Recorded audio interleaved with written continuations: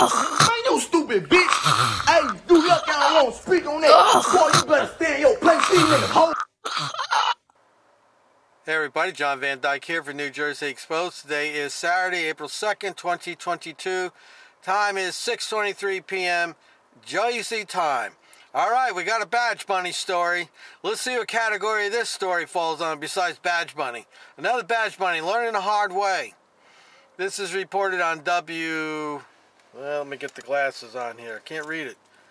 What the hell does that say? WTVY.com, News 4. Uh, and this says, uh, Headland police officer charged with domestic violence. Wow, what a surprise. Another story about an officer beating somebody up. Probably his wife, right? We'll find out when we read the story. Okay, woman told investigators the incident escalated to the point she was thrown to the floor and then choked. They like to choke their women. That's, that's one thing I noticed about some of the stories. They like to choke them. A Headland police officer faces domestic violence charges. Uh, arrest was arrested Thursday. 24-year-old Robert Allen Maddox, Maddox Jr. Uh, of Dothan is charged with one count of domestic violence strangulation. Well, once again, how many times do I have to say, stop hiring them under the age of 30. You can't hire 20-year-olds to be a cop. It's just it's not a good thing to do.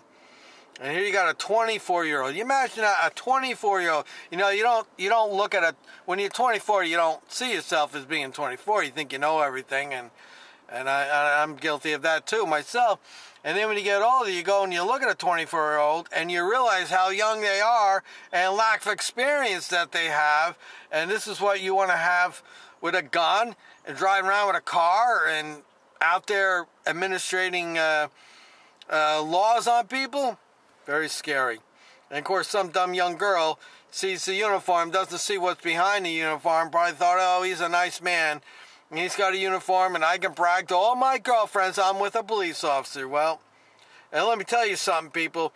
I'm sure this is not the first time he roughed her up.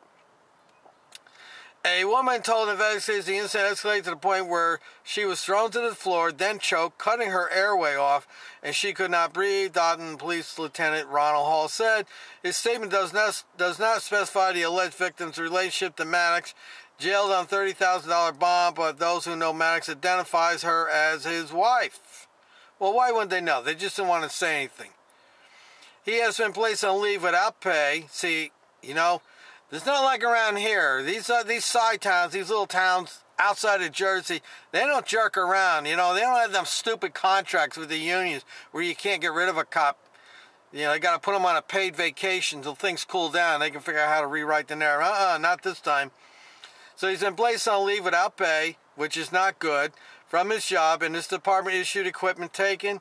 Headland Police Chief Mark Jones told News 4. And let's see, that's all they got on there. I think there may be a little more to that. If I find more in the story, I'll put the link in there for you. But uh, here we go.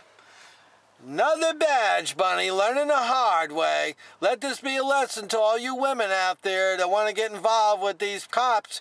You know, I'm not saying they're all bad and going to beat you up, but you're not going to know until it's too late. So why would you want to take that chance? There's plenty of other men out there that wear uniforms, that have, uh, you know, respect for women.